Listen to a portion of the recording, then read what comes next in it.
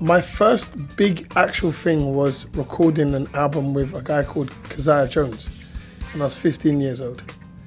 And it was the engineer, I believe he's the musical director for Iggy Pop.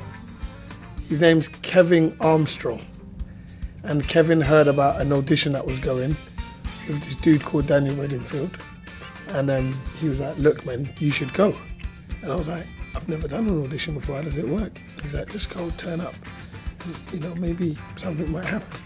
And when I got down there, I saw Frank Tontoh, I saw uh, uh, Chris Bailey, I saw uh, Lewinson Brothers, I saw all of the musicians that I've seen on TV, and I was just like, so I was just having a, a brilliant time, just sitting on the stairs. I think it was that sensible music, um, and I was just sitting on the stairs, just watching everybody.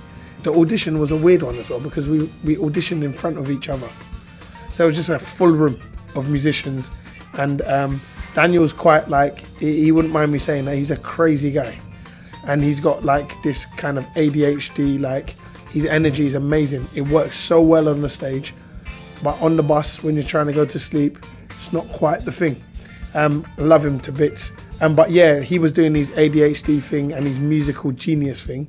Um, and then he's like, uh, is there Josh McKenzie in the house? And I was like, oh yes, me, you know. He says, well, come up and play then. And he kind of looked at me like, mm, how's this going to work then? Like, you're a kid kind of thing, you know? So I'll tell you what, we're going to play lap dance, you know, that NERD. Mm, baby, you want me? Right, cool. So he's like, we're going to play lap dance.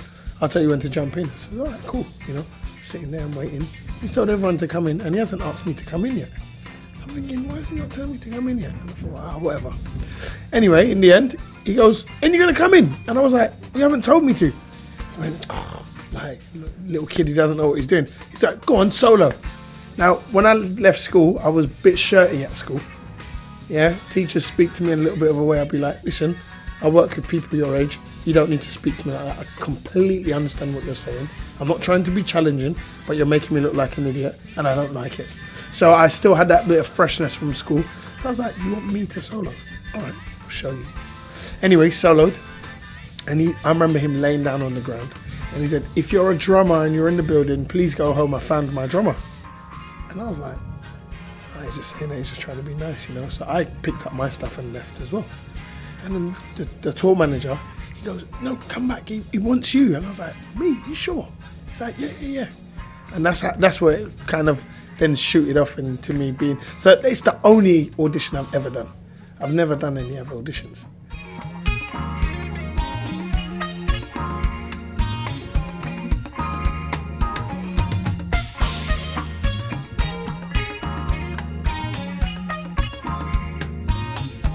I think at first it was very much so kind of like, you know, this is always what I've wanted to do. And I was just excited to be there. And then it got to a point where I was just like, okay, how do I push my career forward? It, I know that I've got musical MD, uh, musical directing skills. Um, uh, but how am I going to get into the game? Where am I going to get a chance to be able to do that? Because I was always I was always the youngest and I was working with like you know people that are very experienced and doing the thing. So I was like, okay, well maybe it will come soon. But that was my next stage. After I was like, okay, you know, you've toured with Natasha, you've toured with Daniel, you've run around with Jamelia, you've done Lily Allen, you've done all of these things. It was great, you know, really good experiences, learnt a lot of things. And I was like, all right, now I want to kind of like kind of put my spin on some of the music.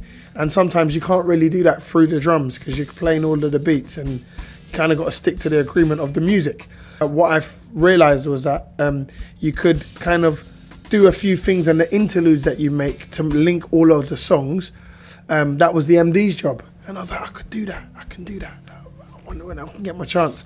So um, years went on, and Tinie Tempah came up, um, and I was asked to MD that, um, and I used that as an opportunity to really kind of kind of put myself out there as a musical director, and I felt like this was my chance to kind of almost overdo it, you know and I went all the way with it. Like, and I, I grew up watching like the Usher gig, um, watching like Jay Z Uncut, watching the Roots, and seeing how they done all of their arrangements and and kind of like involved like little jazz musical bits and like you know R and B bits and like some gospel bits, and I was like, yeah, man, I want to be able to do all of that.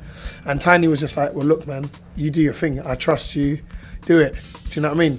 Um, and then it helped me to understand now the business and how the music and what you do for the music, how it connects to them, then the artist being able to sell their record. So then it was like, well, if you completely rearrange their song, then you're you're not su- supplying the business side of it. You're just having a musical enjoyment, so to speak. Um, so um, I was able to then get into meetings with certain execs and kind of go, so what do you what do you require? for the band and how do you want the songs to be presented and those kind of things. And that then kind of then put me into another space where I was like, one second, I need to start from the studio, then get into being the MD, arranging the music, and then, you know, being the drummer. Um, so it was like each stage that I got to, I was learning new things and realized what it would take for me to be the drummer that I wanted to be within something. So starting from the studio perspective and starting with the artist from the writing perspective. And then I was just like, well, if I'm going to do that, then I might as well be my own artist. I might as well try and build my own thing so that I'm established as an artist. So that when I'm working with other artists, there's a like minded understanding. They allow me to get involved with their music and their records. We can build it and then we can put in little musical ideas that would normally work for a live situation. And now when you get into the studio and you're rehearsing it, it's kind of already done a little bit and then you can add a little bit more, you can take away a bit more, whatever. But it meant that, you know, so that was my journey, and I suppose I was young enough yeah.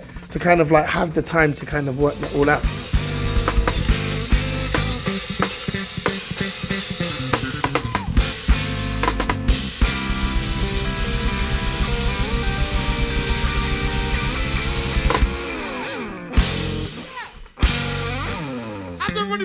Some inside the building!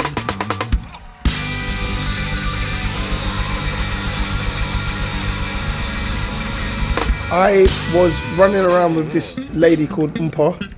She had just been signed to uh, Parlophone, and her thing was she wanted. Um, we had drums and, and guitar, and the way she wanted the stage to be set is having the drums stage right at the front of the stage and guitar stage left at the front of the stage. So she was like, I don't want you sitting down. I need you to stand up. And I'm like, drummers don't stand up. And she was like, Well, you've got something new to work on then. And I was like, what? She's like, if you're gonna be in my band, you're gonna have to stand up and play the drums. So I was like, well, how am I gonna do that? So I got the icon rack and I kind of started piecing things together. I found a tall stool, but I, I, uh, I connected it to a, a, a, um, a cymbal stand and then kind of tried to connect it and kind of and figure out ways of making this tall drum kit so that it looked as if I was standing up. And then eventually I started to get really excited when certain pieces of the or certain parts of the show and I'll be on my feet. And then I was like, well, I can't have my hi hats in the normal traditional space. So, how can I get a hi hat that I can put on my back foot so that I can keep my balance? And then I realized that there was a Pearl um, a hydraulic. Yep. And that's when I first found out about one of those uh, hi hat stands. So then I would put my hi hat on my right heel and then I play my bass drum with my left foot. Um, a lot of drummers don't didn't know that I am an ambidextrous drummer, so my feet are exactly the same. So whether I play on the left side or the right side, they just do the same thing. So, um, I, but when I'm playing electronics, I like to have my electronics placed on my right hand side. So I thought, okay, well I'm gonna set my toms up going to my yeah, and then and then that means then I can put my hats in the middle of my drum kit, and then I can still play open handed, but I'm playing the wrong way around downstairs because then my bass drum is on my left foot and then my hi hat is on my back heel, and so it made things interesting for me. really really cool. And then I debuted it like fully on the Tinie tour. So I was standing up playing with Tinie. I was standing up playing with Wretch. Standing up playing with Devlin. Any artist that I started playing with from there on, I was standing up and playing.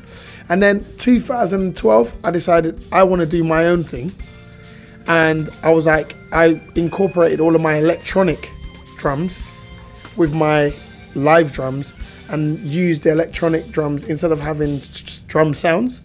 I then started to put like pieces of music. So I'd have a White Stripes bass line on one pad, a Jay Z acapella on another pad, Rihanna, uh, Coldplay, and I could mix like six tunes all in one. But the preparation time, I had to do it on the laptop, blah, blah, blah, and then transfer things to the MPC and then send them down the different lines. So I became a bit nerdy about everything. And I started doing this DJ drumming thing. So the people from Britain's Got Talent saw that, well, he's trying to build his thing. And I was just kind of like turning up, busking on the street. I would go to like schools, I go to colleges, and I was just doing this DJ drumming thing and just trying to build my MckNasty name but this guy that had worked with all of these kind of artists. And then Britain's Got Talent kind of saw me, scouted me, and said, "Well, you know, how would you like a chance to be able to come onto the show? This what this is what could be available to you if you win, and blah blah." blah. And I thought, you know what, it's not a bad idea. Let's do it.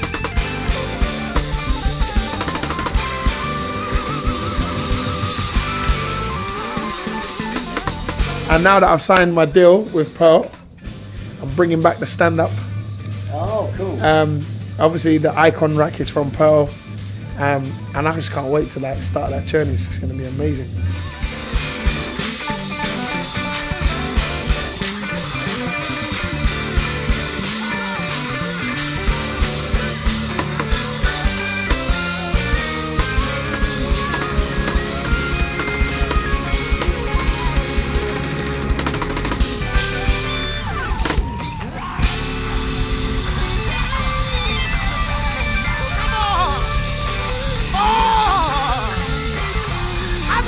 Feeling in the building.